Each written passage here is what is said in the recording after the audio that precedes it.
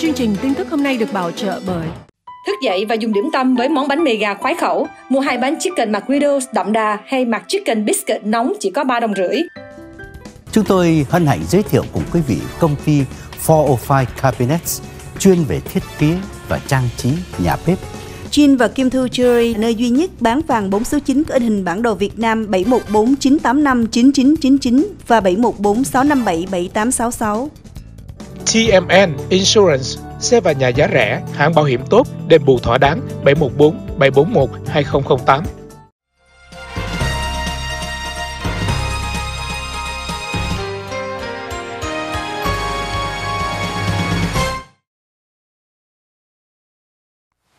Thảo Hiên. Hoàng Trần Thủy trở lại với tất cả quý khán thính giả với thời sự thế giới trong ngày đầu tuần hôm nay. Chúng tôi tiếp tục gửi đến quý vị các bản tin đáng chú ý trong à, tuần lễ vừa qua cũng như bắt đầu vào ngày hôm nay. Thế nhưng đầu tiên vẫn là thời tiết liệu rằng quận Cam còn nóng như hôm qua đấy hay không Thảo Hiên? À, dạ vâng thưa quý vị và thưa anh à, nóng như hôm qua đó thì không có nóng bằng nhưng mà à, nguyên tuần này cũng sẽ là nóng à, so với cái thời tiết à, vào à, vốn có của mùa xuân như thế này. À, hôm nay đó thưa quý vị nhiệt độ lên ờ, ở tại Westminster và Garden Road trung bình là vào khoảng ờ, 75 cho đến 77 độ. Và bắt đầu từ à, thứ tư, thứ năm, à, thứ sáu luôn. Quý vị thấy là nhiệt độ lên đến 88 gần 90 độ. Và phải qua hết cái ngày thứ sáu đó, thứ bảy quý vị mới thấy là nhiệt độ giảm từ từ. Nói chung là nguyên tuần này đó thì nhiệt độ trung bình là từ 80 cho đến gần 90 độ. Vào cuối tuần, nguyên tuần này vẫn còn nóng. À, và gió thì ít lắm thưa quý vị, khoảng chừng đâu à, 10 dặm một giờ thôi. À, cho nên là cái tuần này quý vị hơi chịu khó một tí. Và qua đến thứ sáu thì quý vị thấy là nhiệt độ xuống còn có sáu mươi mấy thôi, coi như là cách biệt hai, gần 20 độ rồi bắt đầu chủ nhật trở đi đó là nhiệt độ quay trở về với cái mức có 67 độ. Chúng tôi vừa nhận được một breaking news mới có, tức thì hồi nãy quý vị đã nghe trong cà phê sáng bác sĩ Mai Phương trình bày về cái sự hữu hiệu của các loại thuốc chủng. Cơ quan CDC sau một thời gian từ lúc trích ngừa Moderna và Pfizer cho đến giờ phút này, họ theo dõi nhóm người mà dễ bị nhất đó là các nhân viên y tế tiếp xúc với bệnh nhân Covid hàng ngày. Nhóm người gọi là tuyến đầu đó được trích ngừa đầu tiên. Cho đến giờ phút này, cơ quan CDC vừa đưa ra thông cáo cho biết chỉ cần trích một mũi thôi, những nhân viên y tế này đã đạt được cái sự hữu hiệu phòng chống được coronavirus 80%. Cho nên quý vị thấy đó là trong các cuộc nghiên cứu đó, họ không có dám đưa ra các số liệu hữu hiệu quá để rồi người dù có do có chuyện gì sẽ đổ trách nhiệm. Cho nên phần lớn họ nói 50%. Cho nên chúng ta cần phải trích thêm mũi thứ nhì để bảo đảm lên tới 95%.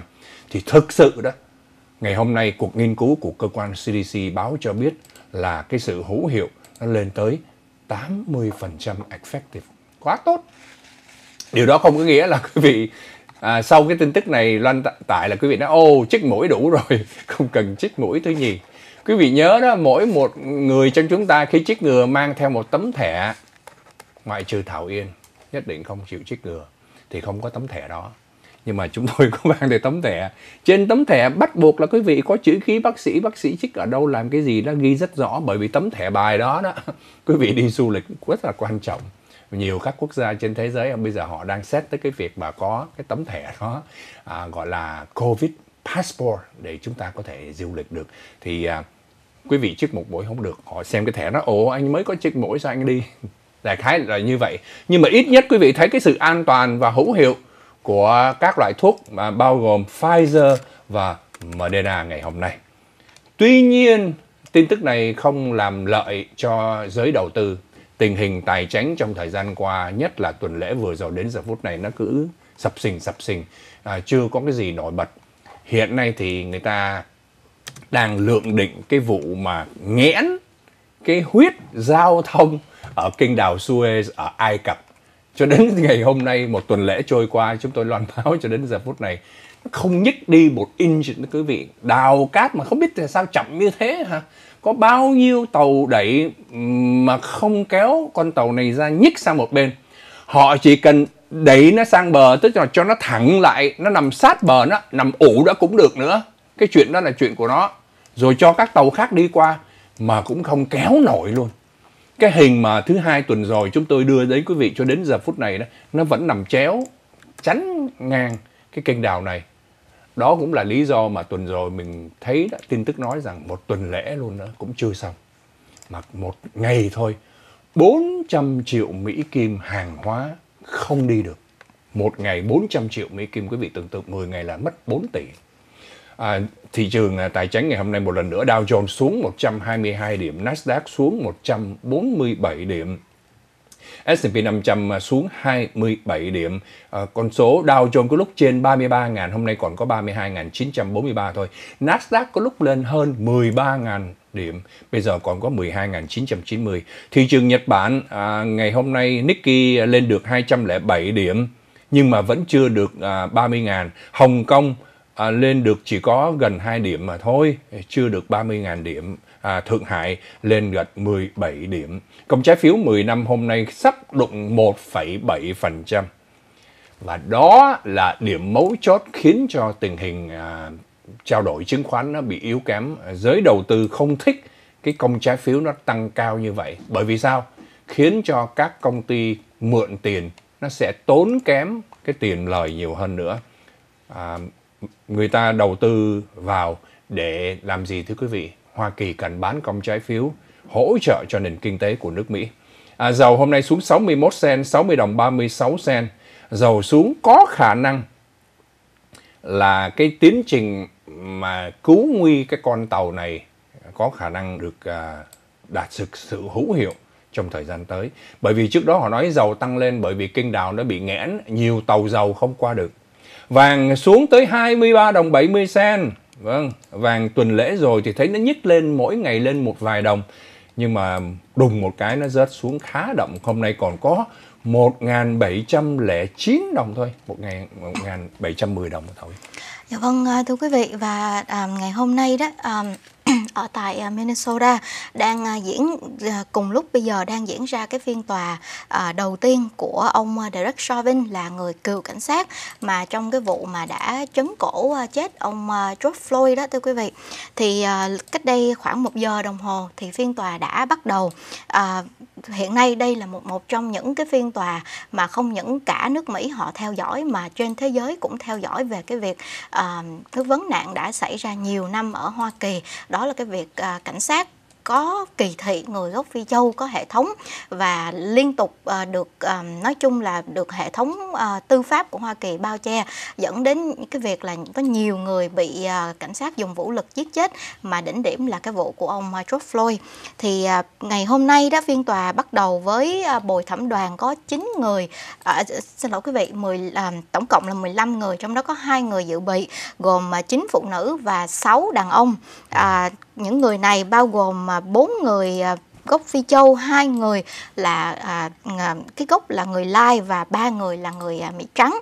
Còn và độ tuổi từ 20 cho đến à, 60 vào cách đây 2 tuần đó thưa quý vị thì cái quá trình mà chọn lựa bồi thẩm đoàn cũng đã có những cái à, xáo trộn à, với cái à, thứ tự ban đầu khi mà thành phố đưa ra cái thông tin là họ chấp nhận bồi thường cho gia đình của ông George Floyd cái số tiền lên đến à, 47 triệu. Thì khi đó đó cái thông tin nó đưa ra à, khiến cho các công tố viên. Thứ nhất là họ nói rằng cái tin như vậy đó sẽ ảnh hưởng đến à, cái à, cái sự phán xét và tâm lý của những người đã được chọn làm bồi thẩm đoàn.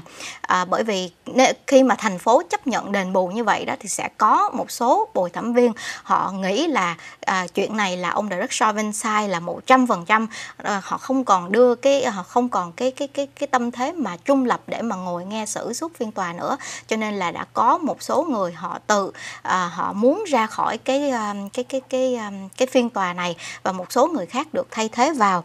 Và sáng ngày hôm nay đó thì à, có một cái điểm cần lưu ý, đó là truyền thông họ ghi nhận khi mà trước khi phiên tòa bắt đầu đó, gia đình của ông à, George Floyd cùng với luật sư đại diện và những người mà tham dự phiên tòa mà có gốc Phi Châu đó thì à, họ đã quỳ suốt à, 8 phút 47 giây thôi ừ. quý vị à, và để tưởng nhớ cho cái thời gian mà ông Floyd bị ông Derek Chauvin chấn cổ chết thì à, ngay trong lúc này đó hai bên vẫn đang đưa ra những cái uh, opening statement thưa quý vị.